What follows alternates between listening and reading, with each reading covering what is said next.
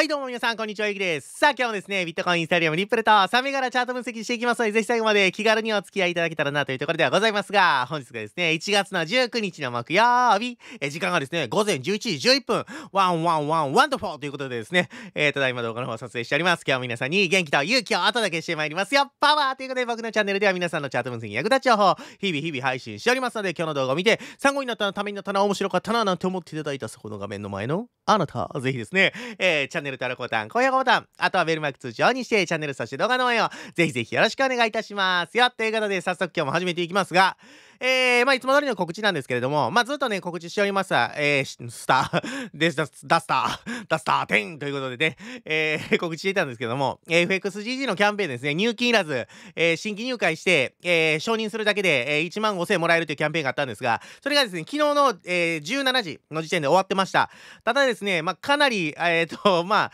あ反響があったんでしょう。えー、し、まあ、実際反響あったんですけど、僕のチャンネルでもね。はい。ただ、あの、ちょっとスケールダウンして継続されてます。はい。まあ、ずっと1万5000円っていう形でやってたんですけど、昨日まではね。えー、今回からは、えー、昨日の、えー、17時以降からですね、1万2000円。ちょっとスケールダウンして、まだね、あの、継続という風になってますので、ああ、もらうの忘れたと、もらうタイミング逃したっていう方もですね、まだ間に合いますので、ぜひですね、FXGT の講座解説は、動画の概要欄のね、えー、ところから、えー、もっと見るとかね、えー、いうところで、ピロッと、えー、広げてもらって FXGG の講座解説してみてください。えー、あとはですね、あの、トレードバトル関連ですね、バイビット、えー、ビットゲット、このあたりが今ね、取引大会してます。どちらもですね、あの、100、100ドル、えー、スケールのですね、参加条件ということで、かなりハードルの低い参加条件となっておりますので、で、なおかつ、えー、バイビットやと、えー、まあ、4000人以上参加した場合は、1万ドルかな優勝賞金あったりするんで、まあ、かなりリスクリワードいいんじゃないかなというふうに思います。で、優勝するってことは相当な利益も出てますから、それで考えたらもう十二分かなというところもありますので、ぜひトレードバトル、えー、えー、やってみたいなと思ってた方、えー、この機会に参加してみてください。はい。あとはね、昨日のツイッター、で、なおかつ僕のプロフィールのところに固定でツイートしてる、えー、ツイートを固定しているやつがあるんですけど、えー、明日の20日ですね、に、えー、っとね、ビットゲットからお年玉キャンペーンっていうのが、あの、スタートするんですけれども、えー、先着、えー、〇〇名、これちょっとね、あの、言っちゃダメよって言われてるんで言わないですけど、えー、先着何名様かに、えー、新規登録してもらったら、これも登録するだけでお年玉もらえます。えー、それもね、あの、山分けみたいな感じなんで、いろんなインフルエンサーさんやってるんですけど、ちょっといくら当たるかがわからないので、あの、登録してみないと分からへんって感じ。なんで、ぜひね、登録してみて、あの、お年玉受け取ってください。ほい、ということでね、えー、早速ね、えー、告知も終わって、えー、スタートしていきたいなというふうに思うんですけれども、ちょっと今日はね、あの、やんごとない理由がございましてですね、オープニングちょっと喋っていこうかなと思います。はい。えーと、オープニングトーク、興味ないよっていう方は、こちらまで動画の概要欄開いてもらったら、チャプターつけてますし、えー、そちらからですね、あの、ワンクリックで、えー、スキップしててもらって、えー、自分の好きな、えー、チャート分析まで、えー、ワンクリックスキップワンクリックスキップ、略してワンクリップしていただいたらなと思います。はい。ということで、えー、始めていくんですけども、えー、あなんとですね、私にですね、あの、ファンクラブが、えー、ございまして、えー、かっこないんですけどね、えー、架空のね、はい、あのー、年会費無料、えー、入、入退場、えー、自由、ね、えー、ファンクラブがあるんですけれども、まあ、そのファンクラブの会長ですね、のと、ある、会長であるともみんがですね、今日誕生日ということで、えー、一応ですね、えー、このオープニングトークを使って、えー、ともみんに誕生日の、えー、お歌をですね、えー、プレゼントしたいなと思います。はい。なので、ともみん、えー、知ってる方、ね、えー、はぜひ画面の前で一緒に歌ってもらって、えー、コメントにね、ともみん誕生日おめでとうと、えー、記していただくか、もしくはリ、えー、ツイッターでね、お友達の方はぜひともみんの、えー、ツイートのリプにね、誕生日おめでとうと、えー、お祝いの言葉を、え、入れてあげてくれると嬉しいなと思います。それでは、えー、オープニングトークとかこつけた、えー、誕生日、えー、パーティーを始めたいなと思います。では、どうもみん、誕生日おめでとう。え、誕生日の、え、お歌を、え、プレゼントしたいなと思います。では、皆さんも一緒に 歌ってください。では、行きましょう。Happy birthday to you. Happy birthday to you. Happy birthday dear Tomomi Happy birthday to you ということで、はい、おめでとうございます。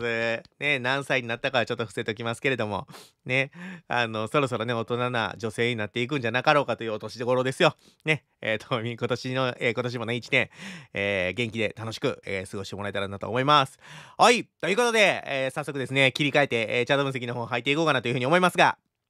えー、まあ基本的にビットコインからいつも通り行くんですけども、まあ流れはもうずっと言ってた通りになったんで、まあそのままですね。はい、言ってたところが、まあ当てはまってきたというところ。ただ、ちょっと今のね、押しぐらいじゃまだ弱いので、下げ切らずに上がっちゃう可能性もあんのかなと思い、思いながら、まあ目線は変えずっていうところですね。中長期の目線はね。はい。まあ何の目線かっていうと、まずはこの逆三像を見ていくんだよっていうのはずっと伝えておりましたので、この辺りは見ていきたいというところですね。なんで、左肩できて、頭ができて、今ね、ちょうど今右肩、えー、を作りに行く。200EMA に抵抗されることによって、えー、一旦おしめを作る。で、えー、今の構想でいくのはね、僕の、えー、想定している部分でいくのであれば、200MA でサポートされる。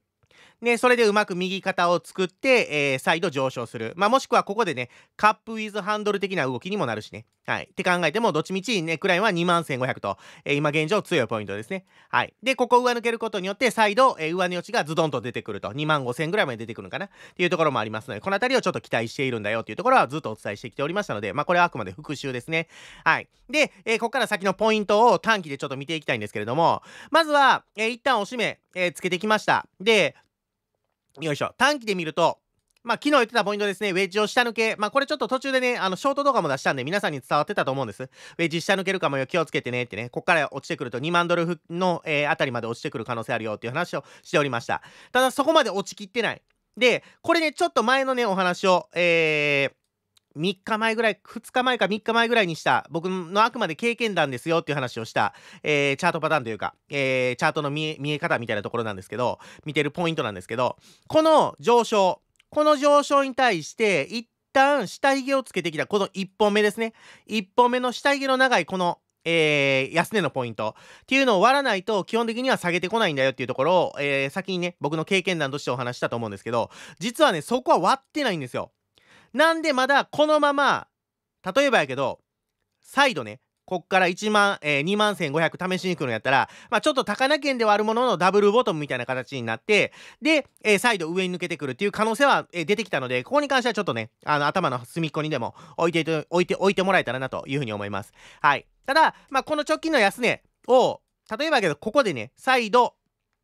落としてきて、まあ、綺麗なダブルトップですよね。こういう形で組んでくる可能性もあるので、まあ、そこに対しては、やっぱりね、この2万1500というところがキーポイントになってくると思います。上がってくるのであれば、えー、この辺りで売っていきたいしね。21,500、えーと、2万1500か。2万1500を背に、えー、ショートを売っていきたい。で、えー、一旦のターゲットは23,300ぐらいかなと思います。23,300から2万400ぐらいかな。この辺りがネックライン、ターゲットですね。で、ここ割ってくるようであれば、えー、途中ね、2万っていうところは、えー、さっきの言ってたポイント、冷やしレベルの 200MA のサポートを見ないといけないんで、この辺りもちょっとポイントは、えー、押さえておくし、えー、チャンネルの、黄色のチャンネルですね。黄色のチャンネルの、えー、上限の裏タッチ。ここに対してもやっぱりね、見ていきたいので、この辺りはちょっとサポートラインが多いですから、え、しっかりと利確検討しながら、えー、下がり、下がっていくという感じですね。はい。このダブルトップがあれば、もしくはこのまま下がっていくのであったとしてもね、うん、この辺りはサポートラインになり得ると。まあ逆、逆を返すと、え、ロングのエントリーポイントになり得るというところになりますので、この辺りはしっかりと注目しておいてもらって、え、右肩水準っていうのは、え、注目しておいてもらえるといいんじゃないかなというところでございます。はい。で、僕の中では、この逆三尊の、えー、構想、想定が崩れるのが、えー、18,500割れなので、そこを割るまでは基本的には僕は目線は変えませんので、あの、そこはですね、まあずっと伝えておりましたが、えー、そのあたりは押さえておいてもらえると、えー、これから先ね、えー、短期の話をしたりとかしたとしても、あ、え、それよりも、えー、18,500じゃないわ、18,800やね。18,800付近の、え、ここですね、左肩水準の安値。ここ。ちょっと待って。チャンネルが動いたよ。ほい、これね、ここ。左肩水準の安値のポイント。ここですね。ここを割らない限りは、え基本的には右肩水準になり得ると。はい。これに関してはもうスイング目線ですよ。はい。ここの左肩の、えー、日付、えー、横軸で考えても、よいしょ。ここね。だいたい、えー、60日ぐらい、えー、55日か、まあ、2ヶ月弱ですね、あるので、まあ、ここからもし、えー、右肩を作っていくにしても、十分まだまだ、えー、横軸はありますので、そこに関してはどういう風に作ってくるかっていうのは定かではありませんが、えー、この辺りは右肩水準で考えていくと。はい。なんで、例えばやけど、このまま横横して横軸を抜けていくパターンも、えー、時間切れっていう形になるし、ね、一旦下がるけど、1万8000を割っていくっていう形になっても、多分、上げきれなくなってくるんで、横軸が、えー、まあ、要は時間切れという形になるし。なんで、まあ、綺麗にこう上がってきてくれると、特にね、こう丸みを帯びてね、ソーサーボトム的な形、まあ、要はハンドルの部分を作ってきてくれたりすると、えー、美しい、えー、逆三ゾーンからの上昇っていうのが見れるんじゃないかなというふうに思ってますので、まあ、この辺りはぜひですね、えー、スイング目線っていうところは、対局の目線っていうのは押さえておいてもらうといいんじゃないかなというふうに思います。はい。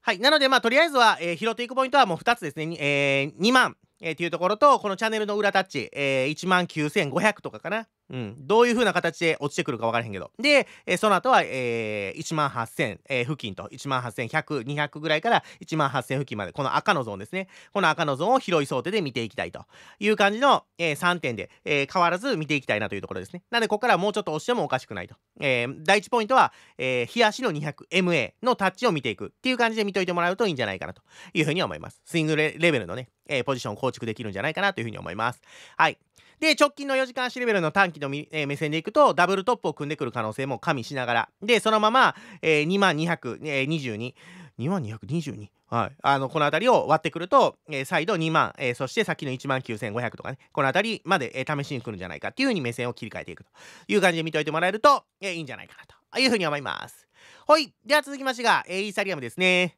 はい。イーサに関しては、えっ、ー、とね、えー、ビットコインで言っている、えっ、ー、と、何ぼやったっけ？ビットコインで何ぼって言ったっけ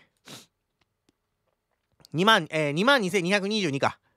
うん。あ、違う違う、2万222か。2000いらんかった。はい、2万200付近ですね。2万200付近。っていうところが、まだちょっと下げの余地あるんですけど、ビットコインの場合ね。イーサリアムはもう、えー、まあ、買われてもおかしくない水準には食い込んできてます。まあ、ネックラインになり得る可能性があるところね。には食い込んできてます。まあ、これに関しても三角持ち合い、下抜け、もしくは、えー、ざっくり見ると、このチャンネルでしたよね。このチャンネル。この感じのチャンネルの下抜けから、えー、多少の、えー、急落が起こったりというところ。ただまあこれでもちょっと下げが弱い気はします。はい。なんでもう一回上に振ってきてもおかしくないかなって。そうなってくると、さっき言ってたビットコインで言ってたダブルトップっていう形が見えてくるので、まあ、そこに関しては純粋にね、あの、ショートを積む方が、え、優位性があるんじゃないかなと思います。それに関しては短期の話ね。なんでかっていうと、長期では右肩を作ってくる。要は一回下落をして、えー、押し目を作ってから上がってくるっていう想定を僕は見ておりますので、ここに関しては短期のショートも全然目線を変えることなく、えー、打てるポイントですね。はい。なので、リスクリワードが良ければ取っていくのは当たり前ということですね。はい。なんで、まあ途中、えー、1600ちょい超えぐらいかな。1610とか、えー、ぐらいかな。最最高値でいくと1640ぐらい。えー、この辺りまで上がってきたとしても、えー、この辺りからは、え、売りを積んでいくような形でいいんじゃないかなと思います。で、1640、まあ、1650ぐらいかな。この辺りを上抜けてきた時点で、え、損切りをすると。部分的にエントリーをしていって、で、えー、1650上抜けたら、えー、損切りしちゃおうよ。みたいな目線も一つありかなというふうに思います。あ、えー、上がってきてくれたらね。はい。よいしょ。で、えー、今現状、このまま、えー、1500割ってくるんであれば、もう一段下を見ていこうかなというところですね。これに関しても、よいしょ。もうすでに目線は伝えてるんですけど、まあ、特に今ね、現状買われる可能性っていうのがあるという、えー、ところを、冷やしレベルでも確認するのであれば、えー、冷やしレベルの 200EMA ですね。200EMA。はい、200EMA に抵触していると、えー、接触していると、タッチしているというところ、裏タッチしているので、ここでサポートっていうのは十二分にあり得るかなと思います。はい。ただもう一段下、これに関してはイーサリアムこのチャンネルは、えー、黄色のチャンネルは強く、えー、強く効いてますので上下ともにね。はい。なんでここは、えー、裏タッチは確実に見ていきたいというところ。プラス、このままいくと 200MA が、えー、絡んでくると思うんで、200MA 割れぐらいまではしっかりと、えー、ポジポインえ、ポジション的にはロングを、え、積んでいきたいなというところですね。はい。で、こっからが右肩水準を作ってきてくれたら、もう完璧、ドンピシャですね。で、ネックラインがここ。ね、えー、上抜けてきたら、その分、えー、2000円ぐらいまで上げれる、えー、上値よしは余裕で出てくるので、ここに関しては取ら、えー、取るに越したことはないやろというところでございますね。はい。で、えー、イーサリアムに関しては、よいしょ。ビットコインが1万8000でしたが、イーサリアムに関しては1250。えー、ここ割れから、えー、一旦目線切り替えと、えー、目線を、えー、修正、えー、改善するという感じになりますので、えー、ここまではしっかりと、えー、サポートをチェックしていくというところで僕はいいんじゃないかなというふうに思ってます。はい。なので、ここに関しては、えー、今、現状、すぐすぐのポジションで行くんやったら、一旦上に跳ねそう。で、なおかつ、直近サポート2点しているポイント、えー、サポートラインですね。4時間足レベルのサポートライン。って考えると、ここは、えー、短期はロングでいいんじゃないかなと。ただ、それに関しては短期な、ド短期なので、えー、直近の1610っていう直近高値付近まで来たら、え、しっかりと利確すると。で、そこからの値動きを見て、上に抜けていくんやったら、裏タッチングロベスのパンパス買い、ね、え、検討していけばいいし、ね、このまま抵抗されるような形、例えばダブルトップであったりとかね、ちっちゃいダブルトップ、もしくは、えー、頭付近に逆さ、えー、三尊であったりとかね、えー、作ってくるんであれば、えー、この、ここで丸みを帯びてくると思うので、そうなってくると、このダブルトップが効いてくると。はい、そうなった場合はネックラインが1500という感じになるので、そこは、えー、しっかりと、えー、ここからショートは持っていてもいいんじゃないかなというところですね。はい。この辺りを参考にしながら、皆さんのシナリオ作りにお役立ていただけるといいんじゃないかなというところでございます。ほい。いいさんもそんなとこかいね。うん。はい。そんなところですね。まあ、綺麗な下抜けでしたね。はい。まあ、っていうよりはもう上も綺麗に効いてるんでね。これビットコインも言い忘れたけど、えー、ビットコインも綺麗に3点目効いてましたね、上ね。ウェッジの上。えー、ウェッジの上限が綺麗に効いて、で、下落なんで、ここに関してはめっちゃショート取れた人多いんじゃないかなと思います。僕の昨日のウェッジを、えー、ちゃんとね、目線として入れてた人は取れてるんじゃないかなと思うし、この三角持ち合いで言っても3点目きっちり効いてるので、ここに関しても、えー、このショートは取れたんじゃないかなというところですね。はい。なので、基本的にもうず、昨日も言いましたが、トレードっていうのは値幅を取るゲームですから、はい。あの、ショートとかロングとかこだわらの方が僕はいいと思ってます。はい。これに関しては、え、リスクリワードのいい、で、なおかつシナリオの立てれるポイントでエントリーしていて、で、要は期待値を稼いでいくっていうゲームなので、値幅を取れて、で、リスクリワードも良くて、で、そのトレードをし続ければ期待値を積んでいけますから、その結果、最終的に勝ってましたっていうのが 一番ベストですね。はい。最初から絶対勝てるポジションなんて100%ないので、はい。絶対勝てるポジション、要は100%絶対、えー、勝てるポジションがあるのであればね、もうそんなもん親戚中からお金を集めてですね、あのー、もう借金しまくってでもポジション取った方がいいわけになるわけ、なることになるじゃないですか。けど、どんだけお金持ちの人でも、それはやってないんですよ。なんでかっていうと、言ってもどんだけトレードが上手な人でも、勝率なんで知れてるんですよ。